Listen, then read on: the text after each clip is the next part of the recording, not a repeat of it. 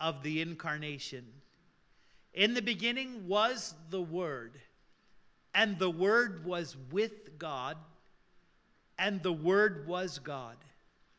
He was with God in the beginning. Through him, all things were made. Without him, nothing was made that has been made. In him was life, and that life was the light of men. Look at verse 9. The true light that gives light to every man was coming into the world. He was in the world, and though the world was made through him, the world did not recognize him. He came to that which was his own, yet his own did not receive him. Yet to all who did receive him, to those who believed in his name, he gave the power to become the children of God. Look at verse 14 and we'll finish our reading. The Word became flesh and made his dwelling among us, and we have seen his glory, the glory of the one and only, sent from the Father, full of grace and truth. Let's give thanks. Father, thank you for this morning. Thank you for the people you love so much. I pray, Lord, while we share your word, that the Spirit of God would breathe life into us. Lord, I pray that the true meaning, the joy of Christmas, would well up from deep within our spirits in Jesus' name. To ask the disciples, Who do people say that I am?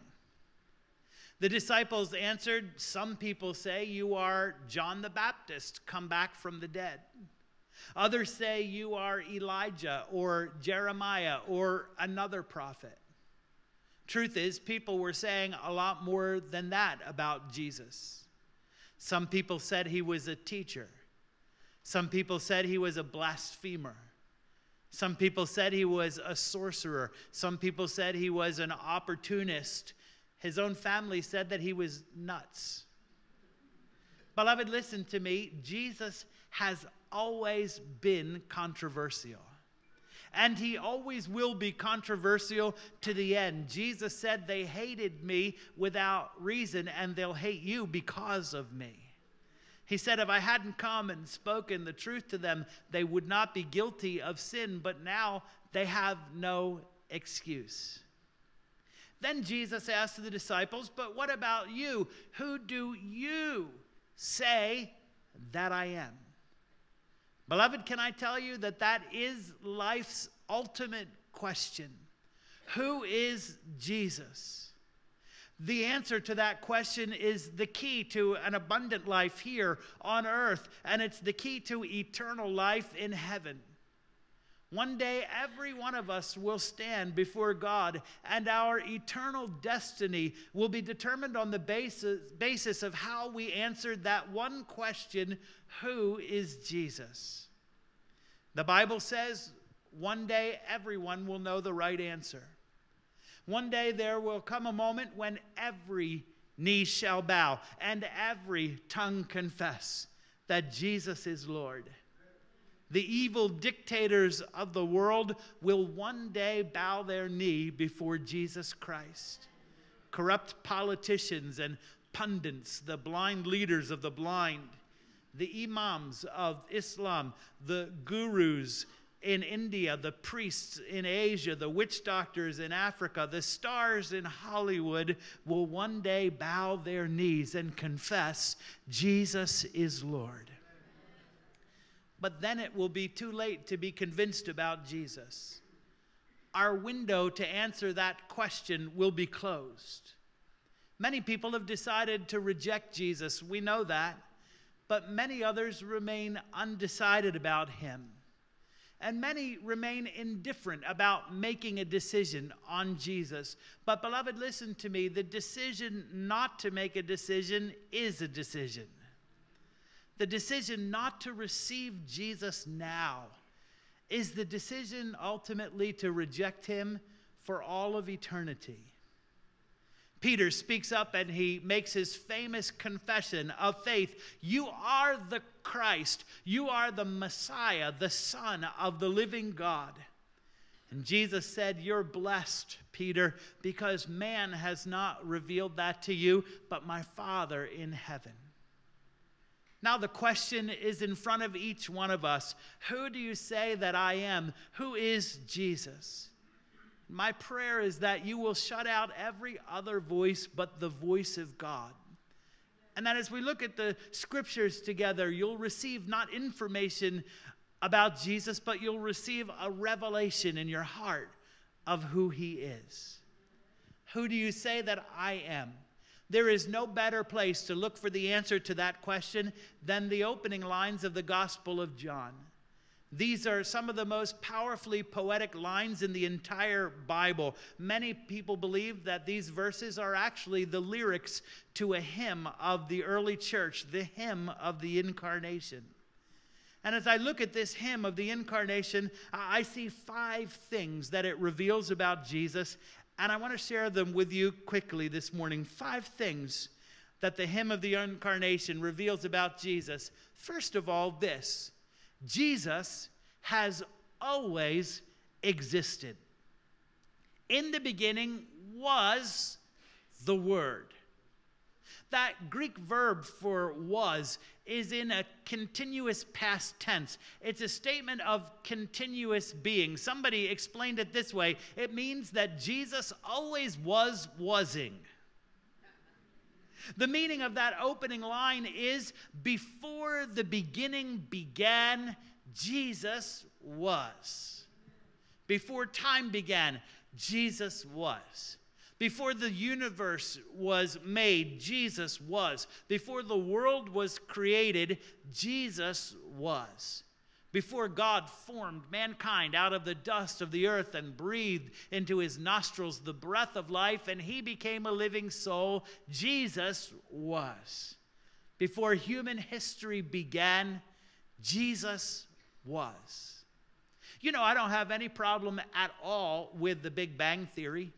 You know, the Big Bang Theory is in the Bible. In Genesis 1 1, it says, In the beginning, God said, Let there be light. Bang!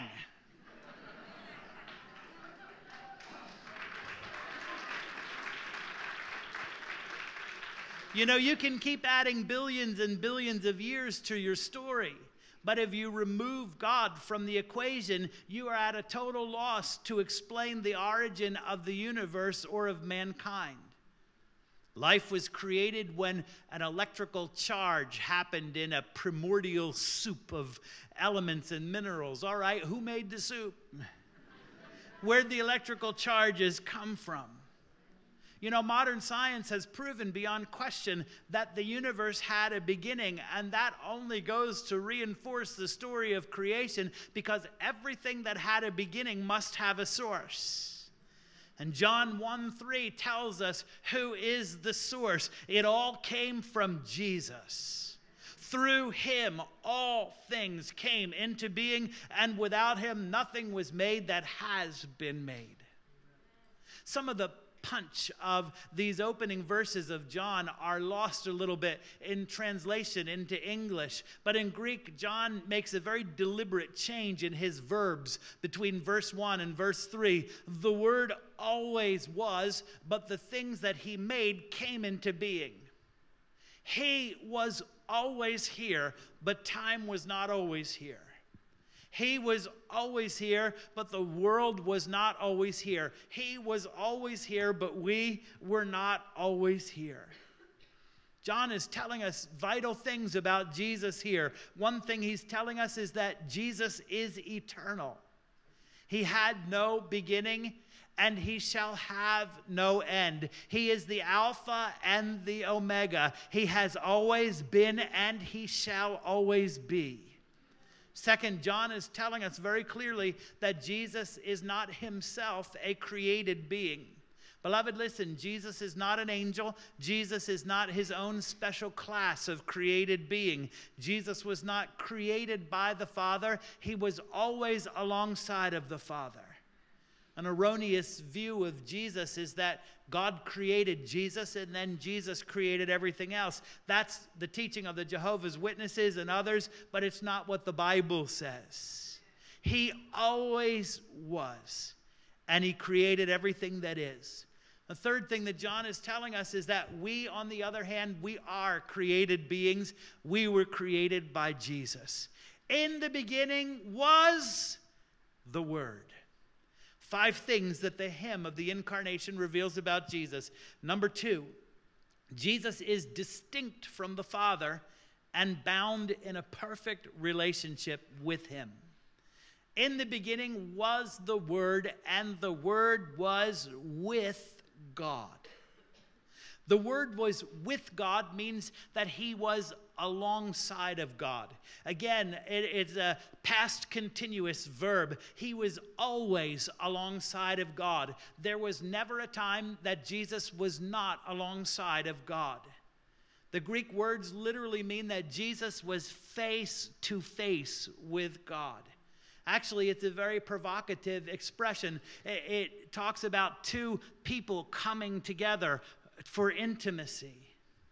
So, with these words, John is telling us some vital things about the Trinity. First, God the Father and Jesus the Son and the Holy Spirit exist eternally distinct from one another. They are three distinct persons that comprise one triune Godhead. That's an important point in Christian theology. The Father and the Son and the Holy Spirit are not three gods on the one hand, but neither are they three modes of God on the other hand. They are three distinct persons who are co equally and co eternally God. The second thing that this tells us about the Trinity is that the three persons of the Godhead exist in intimate, unbroken fellowship with one another. That's something that Jesus talks about often in the Gospel of John. I am in the Father, and the Father is in me, and we have fellowship with one another. And there's something important for you and I to realize when we realize the, the bond, the fellowship of the Godhead. Beloved, God did not create us because he needed our fellowship. God was not lonely. God is perfectly complete in himself. He exists in a perfect circle of fellowship. He exists in a perfect circle of love. God is all the company that God has ever needed. He is a complete party of three. And if He had never created us, it would have in no way diminished His divine fulfillment. But God did create us and He created us for His glory. He created us to bring him pleasure. He created us to be the objects of his love. That is our primary purpose, and we function best in life when we stick to our primary purpose. My in laws just arrived from Canada yesterday for Christmas, and my father in law has this old kitchen knife that he always brings with him when he comes for the holidays. It's about 40 years old. He grew up on a farm, so he knows how to sharpen a knife like a razor, and he always brings his old kitchen knife to our house for the holidays because our knives couldn't cut through warm butter and he guards this knife with his life. It has a wooden handle, and one year I put it in the dishwasher. I was almost disowned from the family. and the knife cuts beautifully, but the about a third, it's a big old butcher's knife, and a, uh, a, the tip and about a third of the blade is missing from the end of the knife. So I asked my father in law one day, I said, Dad, what happened to your knife? And he said, oh, I used to use that knife for everything. I used to pry things open with it. I used to use it as a screwdriver. I used to open packages with it. And one day I broke the tip off of it. See, the knife works beautifully as a knife, but not so much as a crowbar. You know, that's just the same with you and with me. We were created by God to give God glory. We were created to worship Him. We were created to glorify Him by giving full expression to the image of God that is inside of us. So when I create, I'm giving glory to God and bringing Him pleasure. When I excel at whatever it is I'm doing, I'm giving glory to God and bringing Him pleasure. I love the movie Chariots of Fire. Tells the story of Olympic gold medalist and Christian missionary Eric Liddell And one of the great lines in the movie is when Eric Liddell tells his Jewish friend, I, I believe that God made me for a purpose, but he also made me fast. And when I run, I feel his pleasure.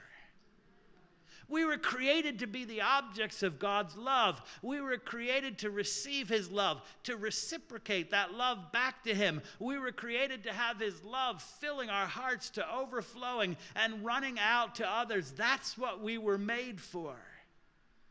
And just like dad's old butcher knife, when we do what we're made for, we function beautifully, but we become broken when we apply ourselves to purposes that we were never meant for. And maybe if you've experienced some brokenness in your life, it's because someone was misusing you, or because you were using your life, the gifts, the talents, the, the things that God has given you for a purpose other than what God intended. If you want to function the best that you can in life, become a worshiper of God, become a recipient of His love, become a conduit of His love. But you know, here's the awesome thing about Dad's old knife. Since he stopped using it as a crowbar and a screwdriver, it hasn't broken anymore. And it is just as useful and valuable to him as it has ever been. And when you stop you misusing your life, you won't break anymore either. And God wants you to know that you are just as useful and as valuable to Him as you have ever been. The Word was with God. And learning something about who Jesus is, we learn something important about who we are too. Five things that the hymn of the incarnation reveals about Jesus. He has always been, he is distinct from the Father and bound in a perfect love relationship with him. A third thing that we learn about Jesus Jesus is God. Jesus is God. In the beginning was the Word, and the Word was with God, and the Word was God. By saying that Jesus has always been face to face with the Father, John has already told us implicitly that Jesus is equal with God. But just in case there is any room for doubt, he makes an explicit statement of Jesus' deity. The Word was God. Before the beginning began, He was always God. Some important things about Jesus here. First of all, it doesn't say that Jesus was merely a reflection of God or an image of God. He is God. It doesn't say he's a man that became God at some point. It says he has always been God. Neither does it say that Jesus is a God with a little g. It says he is God, the one true God of the Bible. And because he is the creator of the universe and everything in it, he means that it means that he is the one true God for everyone. Beloved, Jesus is not the God of the Western world, while Allah is God of the Middle East, and Buddha is God of the Far East, and Shiva and Vishnu are the gods of the Southeast. Jesus is God for everyone. He's God of the north and of the south and of the east and of the west. The earth is the Lord's and the fullness thereof. The kingdoms of this world have now become the kingdom of our Lord and of his Christ. Do you know that's why John used the title Logos, the Word, for Jesus? Only John uses that title for Christ in the Gospel of John and in the book of Revelation. Logos, the word, meant one thing to the Greek people that John pastored in the city of Ephesus, and it meant another thing to the Jewish people from whom the Christ came. Actually, in Jesus' day, in the Old Testament copies of the scripture, because the name of God was too holy to write, everywhere the name of God appeared, they would substitute the title, the Word. So, under the inspiration of the Holy Spirit, John takes this word, the Logos, the word uh, that's familiar to the Greeks and familiar to the Jews, and he gives it a new meaning as a title for Christ. And the message is this Jesus, the Logos, is God of both the Jews and the Greeks. And the Word was God. Jesus is God of all, and he is God for all. Five things that the hymn of the incarnation reveals about Jesus. Number four, I like this one. Jesus changed his status. Jesus changed his status. In verse 1, John uses that Greek continuous past tense to tell us before the beginning, Jesus always was. But in verse 14, he uses a different verb about Jesus to indicate a change in status. And the Word became flesh and dwelt among us. So John is saying, He who always was before the beginning of time was made to become flesh. In Greek, it literally means he pitched his tent among us. Whom do you say that I am? Jesus is not merely a man who some imagine to be a God. He's not a man that became God, nor is he God that appeared in the apparition of a man. John is saying, Listen to my eyewitness testimony about Jesus. He is God who, at a strategic moment in human history, entered our world in a body of actual human flesh. He is the unique God man. Without ceasing to be God in any regard, Jesus took a human nature into union with his divine nature, and he took a human body into union with his divine being. In Christ, all the fullness of God dwells in a body of human flesh. God became something that he previously was not, and forever after the incarnation, God would never be the same again. Beloved, if you think about that, if you chew on that a little bit, it'll make you speak in tongues. Only God could do something like that. You know what? I love Christmas. I love the whole thing. I love the trees. I love the presents. I love giving. I love getting presents. I love my wife's Christmas cookies. I, I, I love family dinner. I love the whole thing. And you know what? If some people get a little wrapped up in the commercialism, what's that to me? Every light I see on every tree reminds me that the Word became flesh, that God changed his status and became something that he previously was not, and he did it just for me. There's a joy in my heart over Christmas that no mall parking lot can take away from me ever. I don't care whether some atheist puts a billboard in Times Square, wants to take Christ out of Christmas. You will never take Christ out of Christmas, and you will never take Christ out of my heart.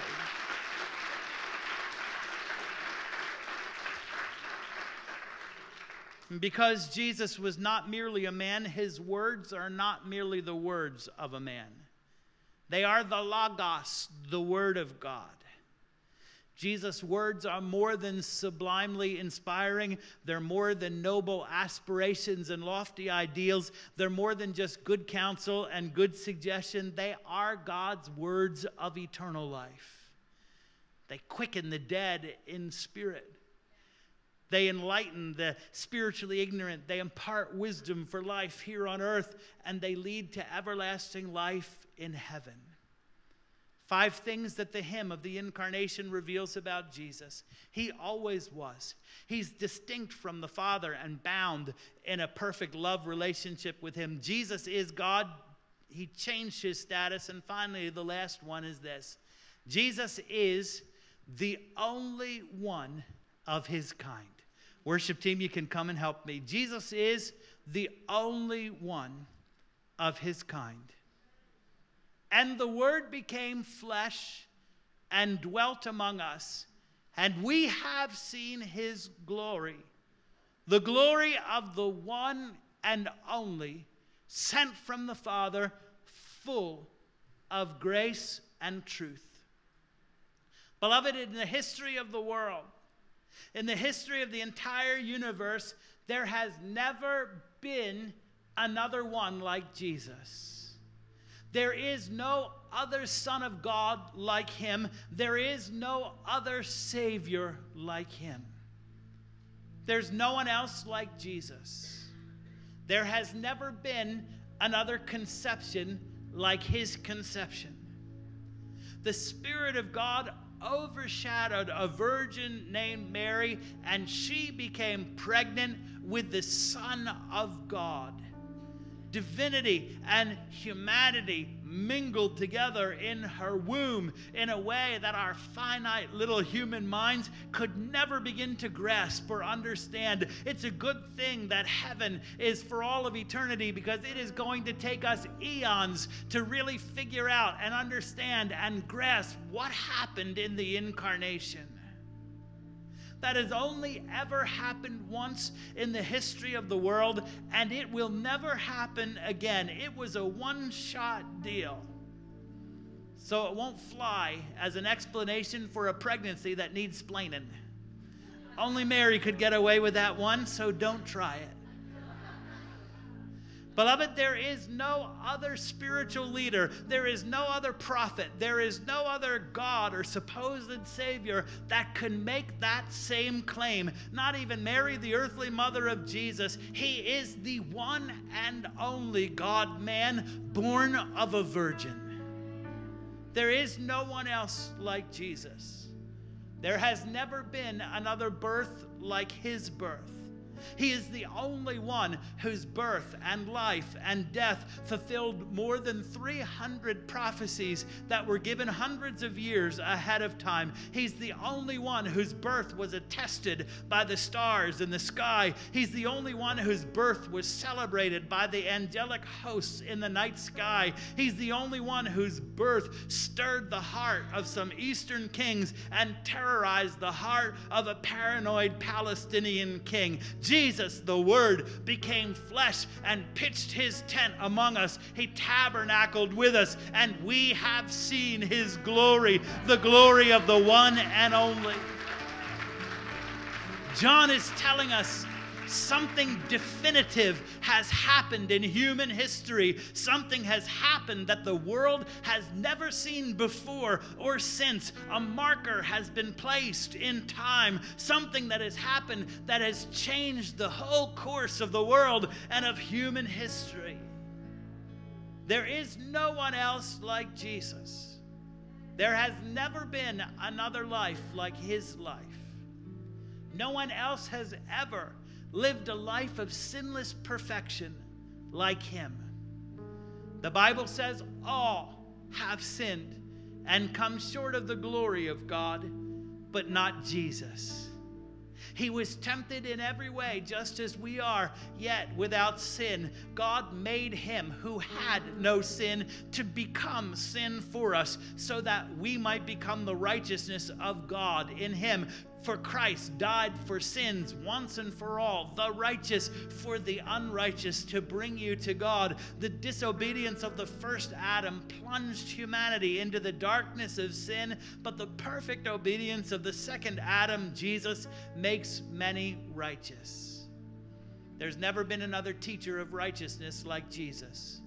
No one else has ever revealed the nature of God, the heart of God, the will of God like Jesus did. There's never been another worker of miracles like him. There has never been another compassionate lover of people like Jesus. There is no one else like him. There has never been another death like his death. Never before or since has any other Savior called by any other name laid down his own innocent life to take away the sins of the world? Why would you want to worship an ugly, hideous God who's mean and angry and has to be appeased all the time with offerings and, presented gifts to keep him from playing capricious tri- uh, tricks on you? What a beautiful Savior Jesus is. I am the beautiful shepherd. I lay down my life for my sheep. No one takes it away from me. I lay it down of my own accord, and I have the authority to lay it down and to take it up again. He himself bore our sins in his body on the tree so that we might die to sins and become alive to righteousness. Never before or since has anyone endured the punching and the mocking and the scourging and the crucifixion that Jesus did? Never before or since has anyone died on a cross with a crown of thorns on his head and a sign that read Jesus of Nazareth, King of the Jews. Never before or since has the sky grown dark like it did when Jesus hung on the cross. Never before or since has an innocent man had the love to say, Father, forgive them.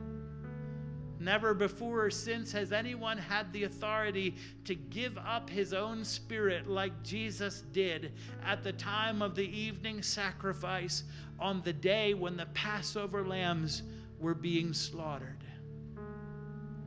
Beloved, John 1 tells an unfathomable love story. The eternal God, comprised of three distinct co equal persons in one Godhood who existed in perfect, unbroken, face to face fellowship, changed his status. He became something substantively that he previously was not, and he broke that circle of perfect fellowship to save you and me. The moment that Jesus took the sins of the world upon himself, the Father looked away from the Son. And at that moment, an eternity of unbroken fellowship was shattered. Beloved, Christmas and the cross cost God more than you or I could ever possibly imagine. Beyond the horrific suffering of Jesus, he himself experienced the sting of separation and death that sin causes. The author of life tasted death. And he did it so that he could open up that circle of fellowship to invite us in. Do you understand that? If you think about it for a minute, it'll make you speak in tongues that that circle of fellowship between the Father and the Son and the Holy Spirit was broken so that it could be opened so that you and I could come in. If anybody loves me, my Father will come and we'll fellowship. We'll be in that circle of fellowship together. Never before or since did the earth quake like it quaked when Jesus died. That was some earthquake. It caused the temple, the curtain in the temple that separated man from God to be torn in half from top to bottom. That earthquake caused the tombs of holy people in Jerusalem to be broken open and dead people jumped out of their graves. How many of you know that was some kind of one of a kind earthquake? There's never been another one like Jesus. There has never been another resurrection like his resurrection. Never before or since has anyone had the authority to lay down his life and then take it up again three days later. Never before or since has any other Savior, called by any other name, left behind an empty tomb. He is not here, he is risen, as he said. Never before has anyone triumphed over death and hell and the grave and the demonic powers and principalities. There is no one else like Jesus. There is no other people like his church. There is no other power like his power. There is no other glory like his glory. There has never been another Savior like Jesus, and there is no other name like his name. Therefore, God has highly exalted Jesus and given him a name above every name, that at the name of Jesus every knee shall bow and every tongue confess that Jesus Christ is Lord. Come on, give God some glory in this place today. Hallelujah! Hallelujah! Hallelujah! Hallelujah! Come on, let's sing. Let's give him glory. Oh, come,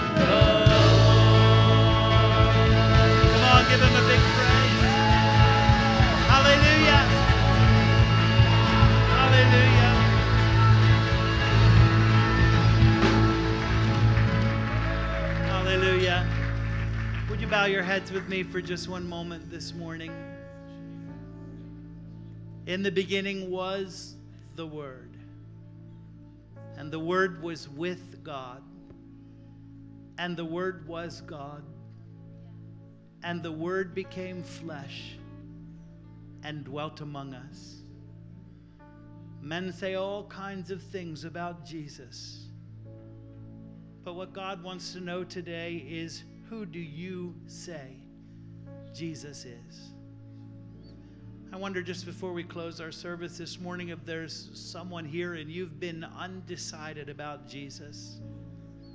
A decision not to make a decision about Jesus is ultimately a decision to reject him for all of eternity. He came to his own, and his own didn't receive him. But to as many as did receive him, to those who believed on his name, he gave the power to become the children of God. I wonder if there's someone here today, and maybe while we've been sharing, something, a light switch flipped on in your heart. Maybe you said, You know, I, I really get it. I really understand it now. Maybe today's your day to make a decision about Jesus, to receive Him, to put your trust in Him. While heads are bowed all over this place, you know, I want this to be the most joyful Christmas that you've ever had. While heads are bowed all over this place, I wonder if there's someone here today to say, Today, I'd like to make a decision for Jesus. I'd like to put my trust in Him. I'd like to receive Him into my heart. If that's you, would you put up your hand high wherever you are? And I want to lead you in a prayer to receive Jesus. Come on, there's one. Is there someone else? Come on, I want to receive Jesus. I want to invite him into my heart. There's another. Come on, is there someone else? I want to receive Jesus. Come on, church. I want to receive Jesus. I want to invite him in. Come on, is there someone else? There's another. Is there someone else? I want to receive Jesus. I want to invite him in. Thank you, Father. Let's all lift up our hands all over this place together. And I'm going to lead you in a prayer to as many as received him, to as many as believed on his name. He gave the power to become the children of God. I'm going to lead in a prayer. I want everybody to follow after me, and we're going to help some people just really receive the true spirit joy of Christmas this morning. Come on, let's pray. I'll lead you, follow. Father, thank you for loving me. Thank you for sending your only Son. Jesus, thank you for coming. You lived for me. You died on the cross for me. Jesus, I believe you are the Son of God. I believe you rose from the dead. I confess with my mouth Jesus is Lord. Jesus, I need you. I need your forgiveness. My life has been broken. I want to come home. I, want to come back to that purpose that you created me for. Jesus, I receive you as my Lord and the leader of my life. I trust in you. In Jesus' name, amen. Come on, give the Lord some glory in this place. Hallelujah. Listen, if you prayed that prayer for the first time, as soon as this service is over, I want to invite you to come forward. We want to meet you. We have something that we want to give you, and we just want to celebrate your decision to follow Jesus. I'm going to ask everyone to be seated for just one moment, and uh, our service is almost through. But I just want to ask if perhaps you would join together with me in something and share in a Christmas offering for our friends in Uganda. Many of you know our friend Pastor Jackson Senyonga. He has been our friend for over 10 years here at Harvest Time. If you've never had the privilege of hearing Pastor Jackson share the word, uh, he's just one of the most powerful um, ministers of the word that I know. He has a struggling little church in Kampala, Uganda, of 45,000 people. They have a stadium, uh, soccer stadium, that they fill every Friday evening with 120,000 believers, and they pray all night, every Friday night. Big part of Pastor Jackson's work is an orphans village that he has built. Um, because of the AIDS crisis in the continent of Africa, there are many orphaned children. And so, what Jackson began doing a number of years ago was taking orphans and putting them together with a widow and building homes for them and making a new family for a widow and a group of about 15, 18, 20 children. Uh, this is a picture of the, if you can make it out, that's the orphans village from overhead. Uh, we have built over the last 10 years, Harvest Time has built more than a dozen of these homes for widows and for orphans. And they are currently caring for, feeding, clothing, and educating 1,400 children in that orphans village. My friend Pastor Jackson came to me a couple of weeks ago and uh, he said, Glenn, we have a need, and I just came to see whether maybe Harvest Time would be willing to help. He said that, you know, when the children are small, they're easy to feed, they're easy to clothe, they're easy to educate, but he said when they grow up and they become teenagers, he said they're a lot harder to feed, they're a lot harder to clothe, they're a lot harder to educate, and anybody with a teenager in the house would just say amen to that. And he said what a lot of the, the orphan agencies, he said what a lot of them do is when the kids turn 14, they just push them out on the street. They don't have room for them anymore. Uh, they're expensive to care for and to educate. He said it's much easier, quite frankly, it's much easier to raise money uh, for little, cute little, you know, three and four and five year olds. It's hard to raise money for teenagers. And he said that's not our vision. God gave us a vision to raise up Christian leaders to transform our nation. He said when the kids are turned out on the street, it only perpetuates the cycle of poverty. He said they get in trouble, they have nowhere to go. Many of them fall victim to the sex trafficking industry. And he said, We're committed to educating our kids all the way through high school. We're committed to teaching them a trade. We're committed to uh, sending as many on to college as we can. And so they have just recently completed a high school building. I think we have a picture of the high school building. Uh, it's a four story building and it has room for 2,000 students. But they need to outfit the building. And they have a goal. The building's been completed, but they have a goal to outfit the building and have it ready to open for school for February 1st when the Christmas break is over in Uganda.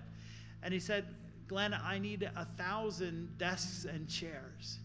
And a hundred dollars will buy a desk and a chair, it'll buy a uniform, and it'll buy a school kit for a student, for one of the students from the Christian Life Village, the orphan village that we've been partners with for so many years. And so I simply want to ask today if you would be part of this offering with us. You know, Pastor Jackson came to us right in the middle of the Jump In Capital campaign. How many of you love it when God uses your own words to test you? I stood up here and I preached when God wants to bless you, He gives you an opportunity to give. And the next day, Pastor Jackson was at my door asking for an offering. And I said, Oh, Jesus, everybody is given so much. They're sacrificing to give to the building. They, it's Christmas time. It's, it's a time when uh, there's so many things to take care of. How can, I, how can I put this need in front of everybody? But you know, the Bible says true religion is to take care of the widows and the orphans in their distress. And so I simply want to ask you if you would consider taking part in a special offering today at the end of this service uh, for these orphans and to meet this need. We put a second offering envelope into your bulletin this morning, and so there's an extra offering envelope. You can use that to give. Uh, if you need an offering envelope, you can slip up a hand, and the ushers will come and find you. Um, maybe you can give. There's some folks up here, there's some folks over here. If you need an offering envelope, the ushers will get to you. Maybe you can give $100. Um, maybe you can give more than $100. Uh, maybe $100 is a real stretch for you right now. Um, with everything else that you have to do. We could put your 50 with someone else's 50 and make a 100. We could put some 20s together and make a 100. But I would love to see how many multiples of $100 uh, we could make together. Listen, none of this is going to Harvest Time Church. Um, I want to tell you honestly, we're giving out of our need. The snowstorms wiped us out last weekend. Um, and so uh, it's a real sacrifice, really. Um, but we're, we're going to do this together. And so if you're making a check, make it out to Harvest Time Church. You can use the offering envelope to give by credit card or debit card, or if you want credit for giving by cash, just slip it in the envelope and write your name on the outside. While you're preparing to give, uh, the ushers are going to have plates at the back door and the back entrance, and on your way out, um, there'll be an opportunity for you to give there. Let's just sing that chorus. Come on, we'll praise your name forever. We'll praise your name forever. We'll praise your name forever. We'll praise your name forever.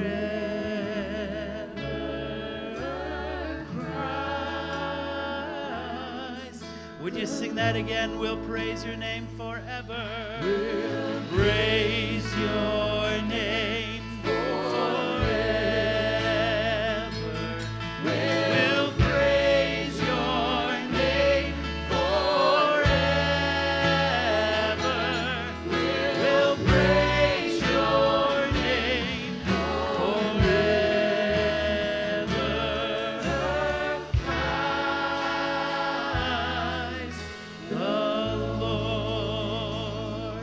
you stand together with us?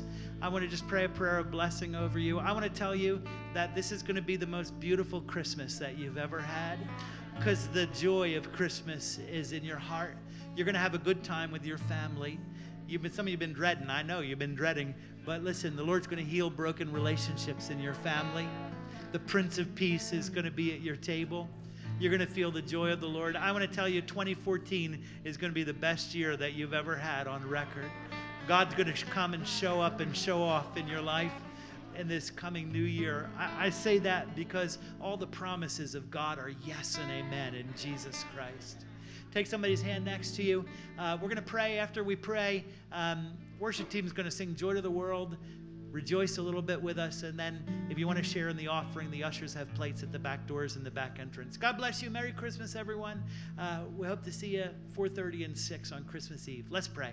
Father, now I thank you for your people, God, and I pray, Lord, your profound blessing over each one of our families this Christmas time. Lord, I pray that, Lord, with buckets, Lord, we would draw joy from the well of salvation. I pray that the joy of Christmas would just well up and stay with us, Lord, through these next several days as we share with family and friends and with loved ones. Father, I pray that the cloud of your presence would just envelop your people. I pray that your protection would surround your people. Pray for all those in our Harvest Time family, Lord, who are traveling near and far.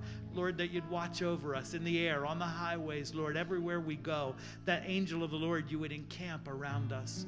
Lord, I pray that your provision would accompany us. Pray that your providence would lead us. Pray that your peace would encircle us until we come together again. And everyone said, Amen and amen. God bless you, everyone. Merry Christmas. Come on, sing joy to the world. Joy to the world, the Lord is. Bow your heads with me for just one moment this morning. In the beginning was the Word, and the Word was with God, and the Word was God, and the Word became flesh and dwelt among us. Men say all kinds of things about Jesus. But what God wants to know today is who do you say Jesus is? I wonder just before we close our service this morning if there's someone here and you've been undecided about Jesus. A decision not to make a decision about Jesus is ultimately a decision to reject him for all of eternity.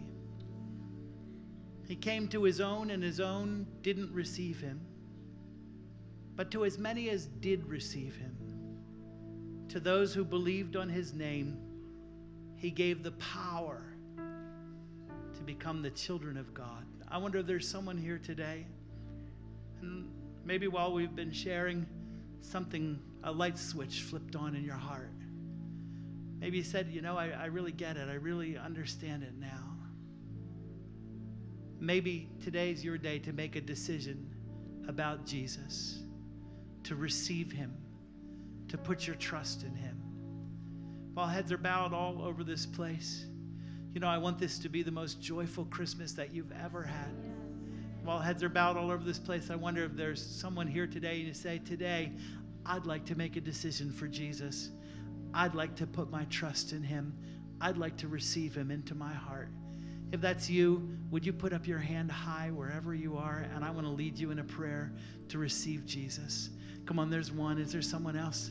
Come on, I want to receive Jesus. I want to invite him into my heart. There's another. Come on, is there someone else? I want to receive Jesus. Come on, church. I want to receive Jesus. I want to invite him in. Come on, is there someone else? There's another. Is there someone else? I want to receive Jesus. I want to invite him in. Thank you, Father. Let's all lift up our hands all over this place together. And I'm going to lead you in a prayer to as many as received him, to as many as believed on his name. He gave the power to become the children of God. I'm going to lead in a prayer. I want everybody to follow after me, and we're going to help some people just really receive the true spirit joy of Christmas this morning. Come on, let's pray. I'll lead you, follow. Father, thank you for loving me. Thank you for sending your only Son. Jesus, thank you for coming. You lived for me. You died on the cross for me. Jesus, I believe you are the Son of God. I believe you rose from the dead. I confess with my mouth Jesus is Lord. Jesus, I need you. I need your forgiveness. My life has been broken. I want to come home. I, want to come back to that purpose that you created me for. Jesus, I receive you as my Lord and the leader of my life. I trust in you. In Jesus' name, amen. Come on, give the Lord some glory in this place. Hallelujah. Listen, if you prayed that prayer for the first time, as soon as this service is over, I want to invite you to come forward. We want to meet you. We have something that we want to give you, and we just want to celebrate your decision to follow Jesus. I'm going to ask everyone, would you stand together with us? I want to just pray a prayer of blessing over you. I want to tell you that this is going to be the most beautiful Christmas that you've ever had because the joy of Christmas is in your heart. You're going to have a good time with your family. You've been, some of you have been dreading. I know you've been dreading. But listen, the Lord's going to heal broken relationships in your family. The Prince of Peace is going to be at your table. You're going to feel the joy of the Lord. I want to tell you, 2014 is going to be the best year that you've ever had on record. God's going to come and show up and show off in your life in this coming new year. I, I say that because all the promises of God are yes and amen in Jesus Christ. Take somebody's hand next to you. Uh, we're going to pray. After we pray, um, worship team is going to sing "Joy to the World." Rejoice a little bit with us, and then if you want to share in the offering, the ushers have plates at the back doors and the back entrance. God bless you. Merry Christmas, everyone. Uh, we hope to see you 4:30 and 6 on Christmas Eve. Let's pray. Father, now I thank you for your people, God, and I pray, Lord, your profound blessing over each one of our families this Christmas time. Lord, I pray that, Lord, with buckets, Lord, we would draw joy from the well of salvation. I pray that the joy of Christmas would just well up and stay with us, Lord, through these next several days as we share with family and friends and with loved ones. Father, I pray that the cloud of your presence would just envelop your people. I pray that your protection would surround your people. Pray for all those in our harvest time family, Lord, who are traveling near and far. Lord, that you'd watch over us in the air, on the highways, Lord, everywhere we go. That angel of the Lord, you would encamp around us. Lord, I pray that your provision would accompany us. Pray that your providence would lead us. Pray that your peace would encircle us until we come together again. And everyone said, Amen and amen. God bless you, everyone. Merry Christmas. Come on, sing joy to the world. Joy